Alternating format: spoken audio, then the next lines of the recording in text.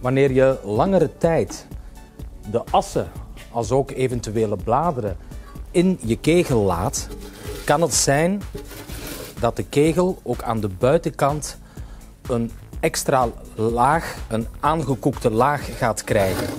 En dan kan je best hem volledig of toch geregeld leegmaken om dat te vermijden.